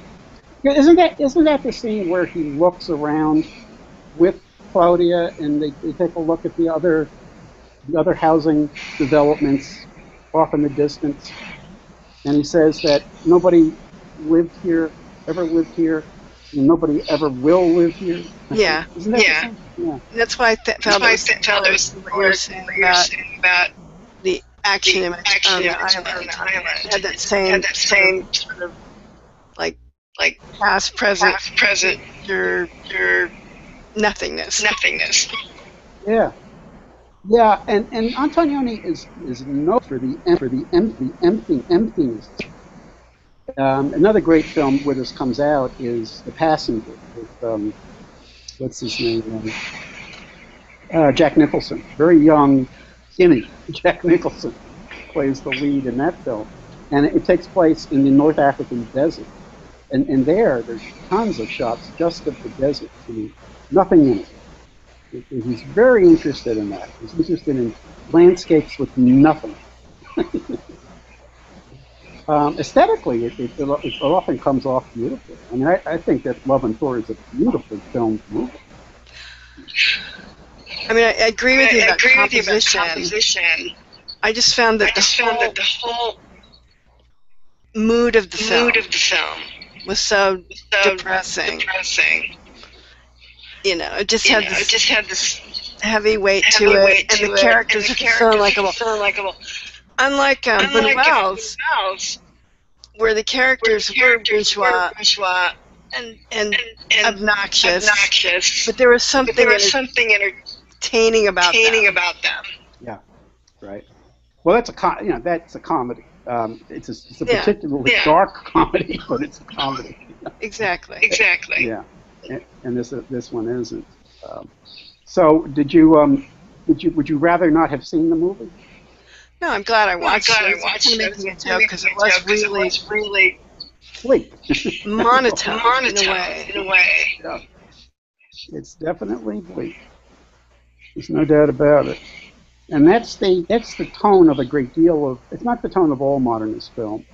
Um, we're gonna. I think next week is um, last year at Marienbad, and you're gonna get an intensification, not of the not of the unlikability of the characters or of the depressing quality of the film, but of the of the obscurity of what's going on. Let me put it that way. In last year at Marienbad, which is also another great path-breaking, one of the classics of post-war European modernism. But the tone will be different. I think a hard tone to figure out, you know, to capture with a single expression. But it's definitely um, worth watching. You know, I was thinking about about um, Hitchcock and about Hitchcock's Vertigo after class last week, and it seems to me that Vertigo, you know, Deleuze, like anybody, has got to oversimplify things. You can't really say anything without making a mistake, right? Without without saying something that has to be partially taken back. And so I, I you know, I'm not criticizing him for this, um, but I, so he'll he'll say that that Hitchcock is a transitional figure between the action film and the direct time image film. But um, in fact, um, Vertigo, it seems to me, is a direct time image movie. It's a movie. It's got the entirety of San Francisco is saturated with the past, and of course, the main characters are saturated with the past. I mean, in particular, Madeline is saturated with the past. She's supposed to be possessed by her own great grandmother. And you go around, and at the very beginning of the film, I don't know whether you remember this, but the scene where Scotty's um, friend talks to him about his problem and initially recruits him as a detective, he says that the San Francisco that I knew doesn't exist anymore. And so he no longer wants to live in San Francisco. He wants to live someplace else because the San Francisco he knows doesn't exist anymore. Well, what you get here is the same idea, really. That's um, that's present in um,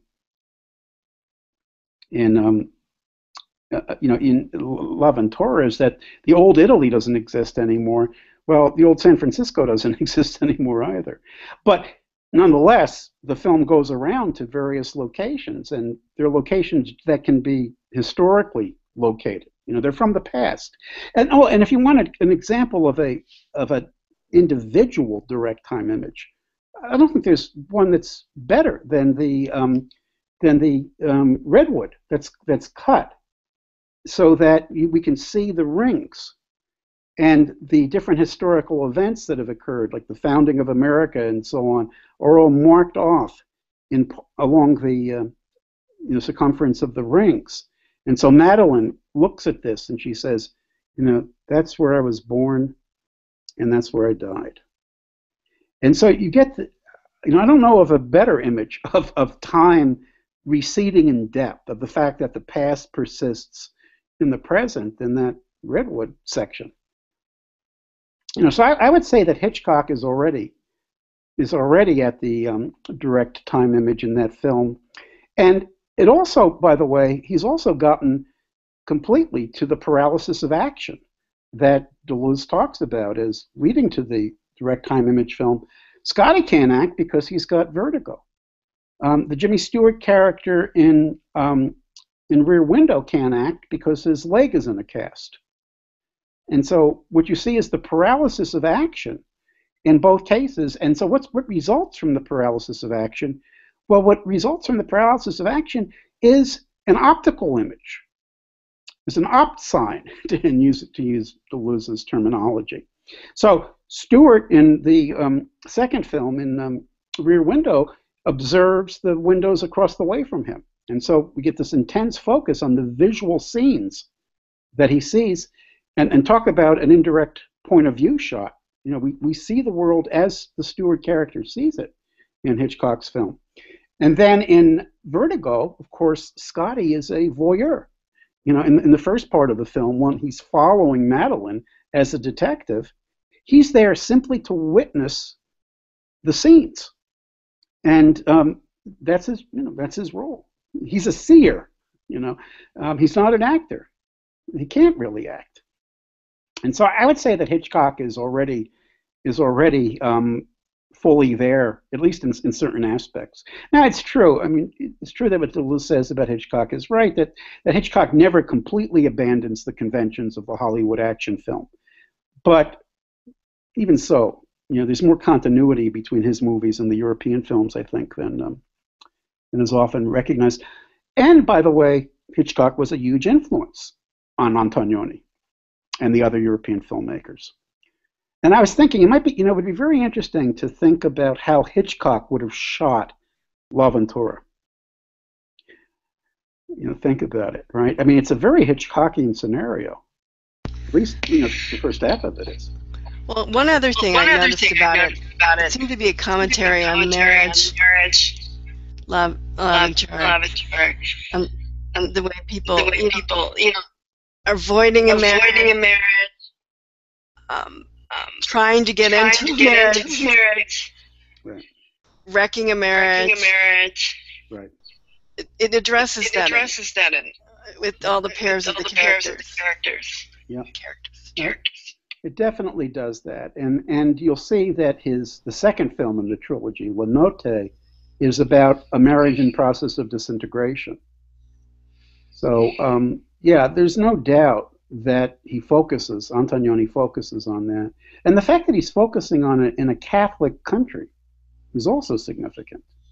So what you get is the idea that there's a whole generation of Italians that's um, you know come up outside of um, the Second World War context, right? It's come up post Second World War that, or maybe you know, overlap the Second World War, World War a little bit, who are no longer at all situated by the Church's conception of what you know proper relationship is and the need to marry and, and so forth. Well, I've got to starts tell you, with Well, their- it starts with I was it starts with the father's father's comment right at the comment right beginning. at You know, he'll never You know, marry he'll never I'll marry never marry you. The guy will never marry you. Yeah, and she says, I'm the one who doesn't want to marry him. But that turns out really not to be the case. I think her, I think her, her um, dissatisfaction with him is the fact that he's not around enough. He's off on business trips all the time. But then you have the You scene have at this the scene end at the end where where Claudia is now in love with him and wants to marry him, marry him, and then of course And finds him finds with him the prostitute. prostitute. Right. But then there's that then there's that open-ended open-ended thing thing where she puts her hand on his shoulder on his as if, as if you know, you know, where do we go where from do here? we go from here? Right. Right. Right. Right. right. Yeah, I have to tell you a, a quick anecdote about this. Um, I was in Greece over the previous summer, and I was sitting in a cafe with um, a Sicilian who was participating in the conference that I was also participating in. And the guy told told the story know, there were a few people at the table. He told a story which I thought was fascinating. He said, you know, in Italy, in Sicily, he was Sicilian. In Sicily, um, everybody tolerates prostitution. And he said the reason why is that the assumption is that prostitution saves people's marriages. That, um, in other words, that without prostitutes, the men would leave their wives looking for sex outs- outside of the marriage. But since they're able to find it with prostitutes, the family is protected. And so prostitution is not, you know, is not rejected by the Sicilians. Unless it's the Unless woman it's the doing woman it, doing, yeah. Then there's a Then different there's a attitude. different attitude. Ask the guy that Ask the guy question. that question. Yeah, I don't know. I mean, he seems to be suggesting that women felt that way too, but it's hard to believe. Yeah. Um, No. Mm. I, No, no, I, I'm thinking no, I'm it's thinking it's the when it's when described it's by a guy that guy it saves the marriage. Of course, he's referring to men men hiring prostitutes. prostitutes. If you asked him, well, how do you feel about the you feel about wife hiring a male prostitute? prostitute? Does that save the marriage or does that end it? That end it. Oh my God! In Sicily?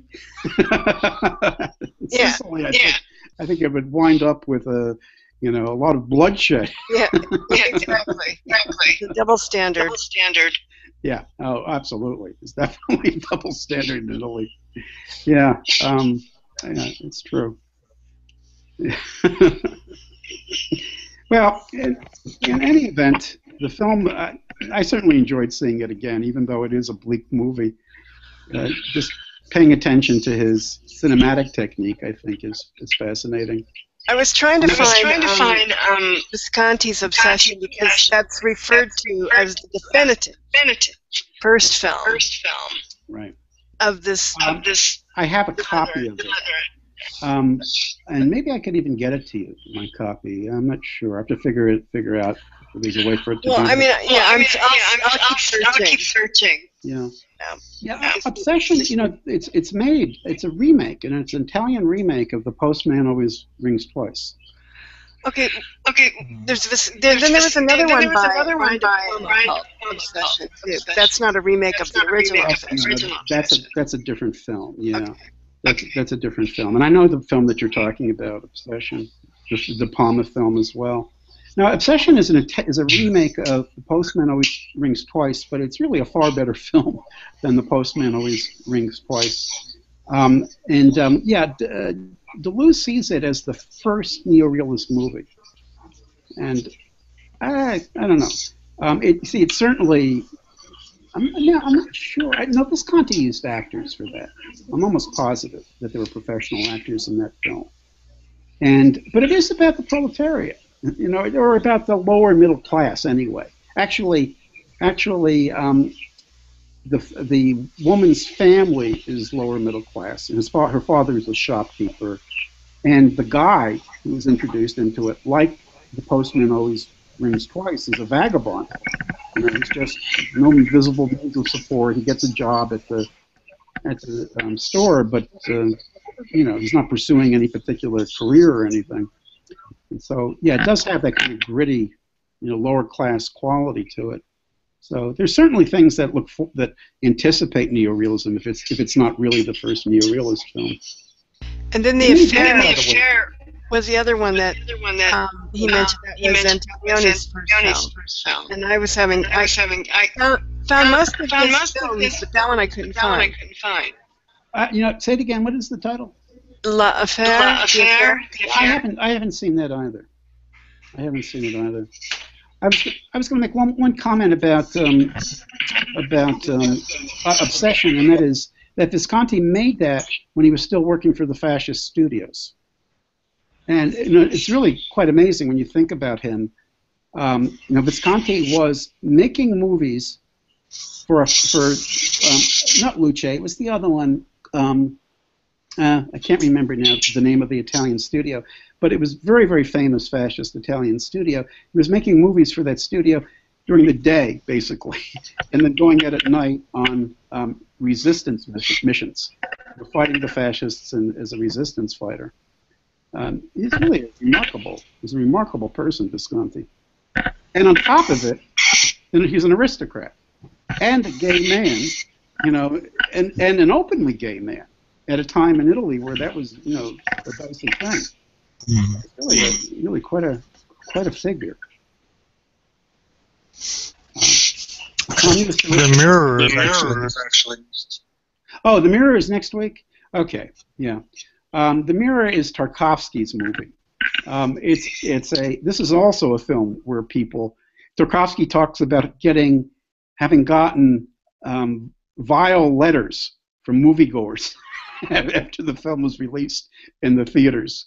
It, was not well liked by the movie audiences, but it's also now considered to be a, a classic um, film, and I, I think that you can you'll be able to see certainly where the the time image is present in that film. But I, I chose it in order to go along with a chapter on um, mirrors. Uh, I'm actually um, it's kind of a lead up to something that Deleuze calls the crystals of time. And I guess right after that, we're going to see, if I'm not mistaken, are we, are we seeing the Orson Welles film after that? Do you have the the syllabus on on your screen, Mac? What's after? I do. I do. Um, Um, in after in that. after that. Say it again. Last year at Marienbad is after that. Okay. Yeah. Yeah. Yeah. Um, and then I think we're ending um, with, um, and then we're going to see Welles as Citizen Kane. And, oh no, yes, and then I think we're ending with um, Alphaville, Alphaville. By, Alphaville. yeah, by, um, by Godard, which is a fascinating film. I don't know whether people have seen it. It's, uh, it's one of Godard's actually more most accessible films, I think, even though it's an odd film. All of Godard's films are odd films. But we're, we're barreling along here. Yeah, I, wa- I Yeah, definitely I, want to look definitely at want to look at a lot of the other a lot films of the other mentioned in films the book. in the book. Just finding some of them some really of them. challenging. Challenging. It is. And this is the way I got started with Deleuze's two volumes. I decided to track down the films. And of course, it, you know, it's, a, it's, it's the work of a lifetime. I think he's mentioned every film he's ever seen in those two volumes. Yeah, and he saw them in the Saw them in theater, the whereas theater, we have to, we have to, you know, I don't, I don't hunt know. for them. look for them. That's true. Um, he probably saw a lot of them in the theater, but you know, Paris had this fantastic film archive, and I'll, I'll bet that he saw a lot of films in the film archive. That, and especially because he was somebody of reputation, he could arrange private showings and the whole bit. And um, yeah, Godard was once involved with a in a battle over the archivist who was fired by um, Andre Malraux, who was de Gaulle's Minister of Culture. And it was the only time that Godard took a leading political role in anything. He organized this tremendous um, protest against the firing that he took all the way to Cannes. And they occupied one of the one of the film rooms, one of the theaters at Cannes, and they shut the whole festival down as a result. And so the guy was rehired as a result of this, but um, Langlois was his name, or Langlois was his name, Henri Langlois, and he was rehired by the um, by the, the Gaullist regime, by the Gaullist regime, but he lost his ability to to um, program films and and to determine which films would be shown, and that was what the whole avant-garde loved about him was that and he showed all of the new wave films before the new wave directors became famous and yet and de Gaulle decided to get rid of them So what So what? do you follow a Do lot you of follow new a lot of films, new films, the like independent the films independent films today? today? um, you know uh, not as much, many as I would like I, I haven't seen a lot of like for example I don't think I've seen a single film that's in the theaters now um, I like going to the, to the movie theater you know there's, there's a, an experience that you miss by seeing it seeing the film on on um, at home but but um, I find myself mostly just trying to fill in the gaps in my knowledge of film history. And so I, I miss a lot that way. Have you seen anything recently that you would recommend? I'd have to go back I'd and look at go back titles. I do watch a titles. I lot do of watch a lot of movies. but my brain is My brain like is cheese. cheese. Um, I did watch Um, a I did film watch a film last night with. last night Uh, with. it was uh, kind of interesting when you talk about. talk about. I don't know where this I know falls where this into falls into the the um, what we've been what we've discussing, been discussing, but the idea was the idea was we, we revise our revise memory our memory to fit our own to fit narrative, our own narrative. Right. And it was it's a it film was, with it's a um, film with um, James Franco. James Franco. Um, what's his um, name? what's Harris, his name? Harris. who played Pollock. Pollock. Oh yeah, I know who you're talking about. Uh, Uh, I mean, it's a good I mean, cast. it's a good cast. interesting It's an film. interesting film. You know, a, You know, a- like a like you a, know you know, an an independent independent lower budget movie. budget movie. hmm But I like the I like con- the idea of the it, idea of it, of how Nope. this how this guy guy revises. revises. He's a writer, and He's he a writes writer, sort and of he writes sort of a, a a book about his book life, about his life. which a lot which of it is a lot of it is his his own own interpretation, of his memories, of which memories, which he gets called he out on by called his out on father, by his father, Uh, I see. who said who who, said who appears at who his appears at a reading book saying, "I'm not saying, dead," I'm not dead. Which of course is Of course, his, his book says his, his father says is his dead. father is That's dead. how it kicks off. Have you seen Memento? A long time ago. a ago. long time ago. Yeah, it's also another great film about memory. Um, yeah. Well, you're going to have to write up a list for me, Pixels. You've, you know, you've given me the titles of some films in the past, some of which I've actually followed up on. But um, yeah, I mean, I've, I think, you know, I've seen films. I, what did I see recently? I saw the film about the Catholic Church. What was it called? Um, the um, in Boston, the the controversy, um, Spotlight. Spotlight, spotlight. I saw Spotlight and I liked it, and then I read this devastating critique about it from a former Globe, from, and it wasn't a reporter with the Globe, um, but he was a Boston reporter who had covered the case and had interviewed all the priests involved.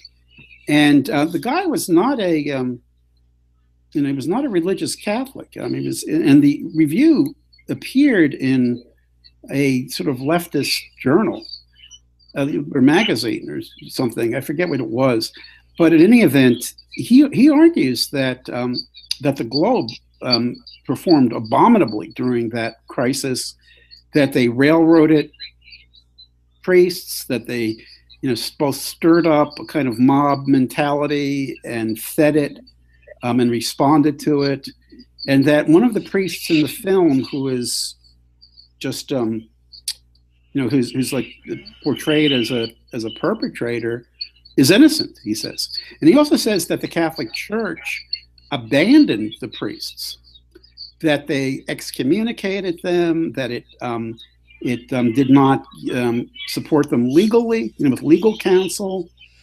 And I, I was, and I don't know what you know, I don't know what the truth is about this, but it was an interesting take on what happened in Boston. I don't know what you know what's what's correct about it, but Yeah, I haven't Yeah, seen I haven't but seen it, but I, th- I think the I think gist the of the movie to me the was really about really about investigative, investigative journalism journalism to remind us remind that us that we're losing we're that. losing that. yeah, right. You know, no matter You know, how it no went down, it it did down, it did expose expose the corruption, the in, the corruption in the church. church. Yeah, um, and that's that's right. Um, yeah, and that's what's interesting about the project that our mutual friend Jason is involved with. Uh, actually, uh, don't go away. Um, let me just say goodbye to the U- YouTube audience because we're off the topic, um, and we'll see you next week. And Pixels, hang on. Let me just stop the broadcast.